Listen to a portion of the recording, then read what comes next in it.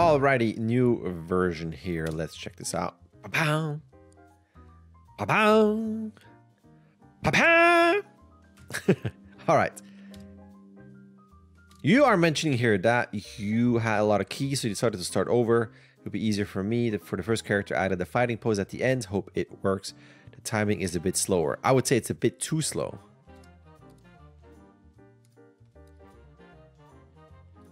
It is it's a bit tricky because it is in the reference. He's just kind of waiting.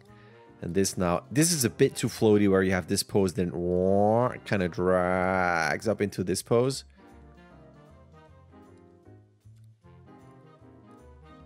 I mean, you could also,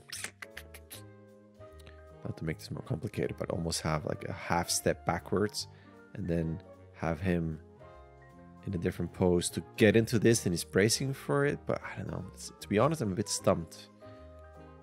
I should come up with something, but right now this just feels like he's so ready.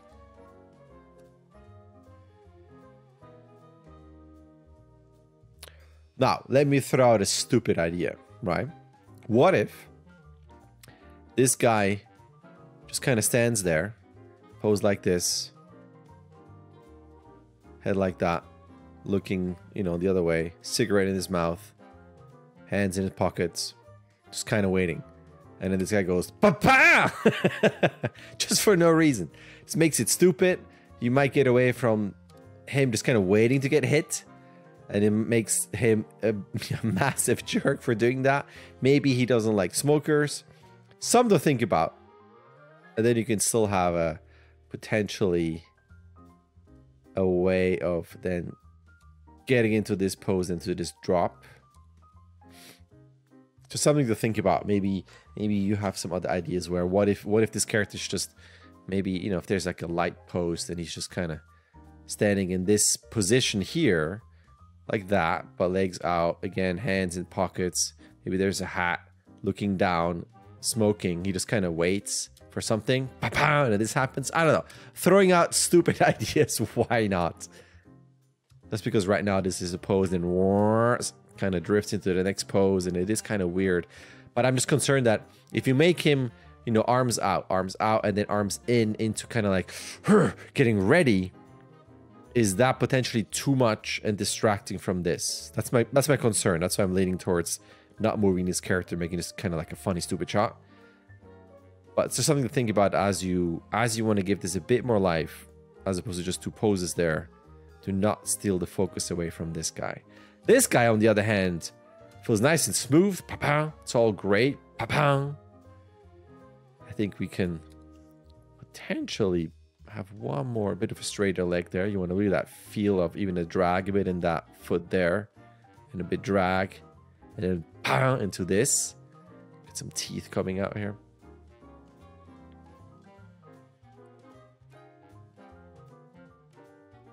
Watch out, your arms are do they do come up almost same height pretty much, and at the same time, you'll have a one two frame offset there on these. And then if you look at the spacing of this head coming forward, forward, forward, forward, forward, boom, and now, bam, like it hits a wall. Bam. So you gotta watch out for the spacing on that a bit. On something like this, you might go uh, rotate the hip over. So this is leaning, this side of the hip is leading. So watch out, wire rotation on the hip there. Especially on this. Forward and a bit like that. All the weight's more on this. Until it recovers and then the weight gets onto this.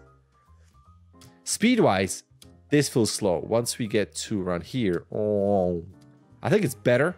It doesn't have that that super sudden slowdown as before. I think it could just be a tad faster. Now I said tad faster. Let's go crazy here. What playback? What is this? Speed increase. There's no percentage, so I can't tell you. That drop feels a bit better at that speed, dare I say. Just a bit, bit faster on that drop. But then on this, on that impact, once this leg is in and boom, this connects, I would bring down that arm, you know, smack that arm down a little bit more, a little bit of pound compression on that head down. You want to feel how dropping leg compression As in, we're falling and now this leg is stopping the rest to continue to fall, but then this would all fold over this leg. But now we have forward motion, so on that rotation there, so we can't really, but you want to feel that impact of this leg, pound, of this. And you want to cut out sooner so that we don't have bong, and then you have dead frames at the end. And by dead frames at the end, whoops, I mean this here, scrolling into nothing.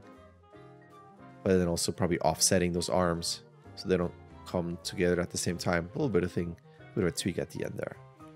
All right, that's that. And then there is reference.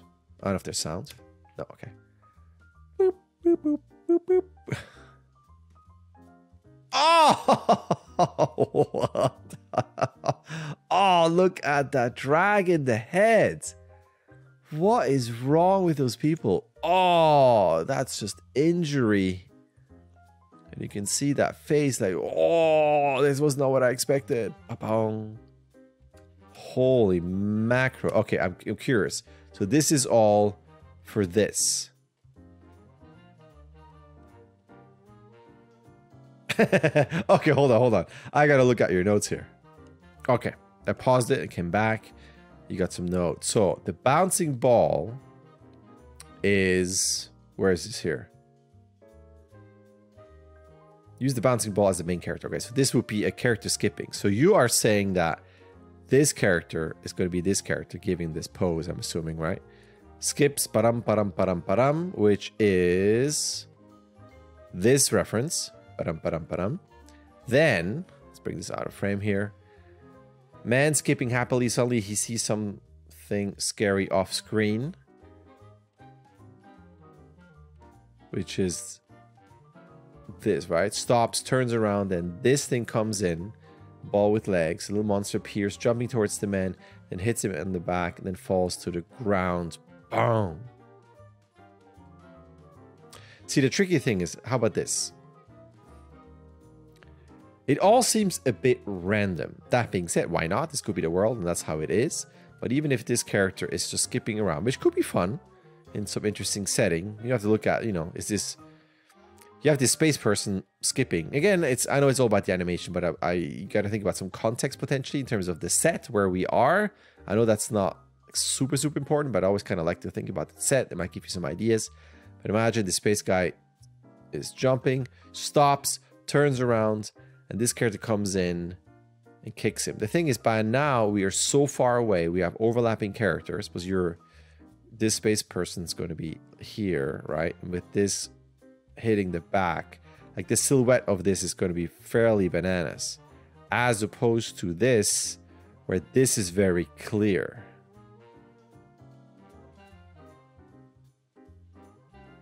So it's almost like you're gonna you would have to have It's almost like you need the opposite, to be honest. So, what I would suggest imagine we have it all leads towards like that and then we have this and then there's a wall here on the horizon here. So imagine your space guy is actually close to camera up here. Jump skip jump skip jump skip and then ha! Ball with legs jumps over here Guy freaks out. Ah! Rum jumps back. This guy follows. And then we have exactly the angle of the reference of this guy here, this guy jumping and hitting him with his legs, falling down. To me, that would be a better angle to sell things. And then you will see a big action up front as he skips. The little guy comes around the corner, comes back, and again the action up front here towards the camera. Um, there's definitely a lot of work. You're asking if it is also too ambitious. Um, it's definitely a lot of work. Looking at your previous shots, uh, the amount of time and, and the updates, like how it's progressing. Uh, I'm a fan of of people pushing themselves in terms of really trying something new and pushing and learning something. At the same time, I'm not going to lie, it's going to be a lot of work. You got the mechanics of this, you have the mechanics of pantomime acting, stopping, the weight of it all, turning around and coming back, which is a different type of run, panic. On top of that, this character coming in, jumping, and then the jump the jump hit on the neck and then the mechanics of the fall because the character is not standing like that like in the reference it's going to be a walk run on top of the being hit. So that fall is going to be also fairly dramatic. It's just a lot of lot of work body mechanics wise. That being said why not? So you have the reference you can combine it together um, and you might kick butt and it's going to be awesome. So i don't want to say no but i'm going to say it's going to be a lot of work. So I'm going to leave it at that and then leave it up to you. I would just suggest what I said here in my crew drawings that this would be kind of the idea that we're up here, walking over here, freaking out here because this character appeared, ta-da! And it comes back towards us and this follows and then bam, the hit is here. All right. I hope that makes sense. Let me know. If not, email me and we can go through uh, discussions and stuff like that. All righty. Thank you. All right. There's an email. You can sign up. You can start whenever you want. You can submit whenever you want. You get 16 submissions. Either way, a like and subscribe would be awesome. All right. Thank you.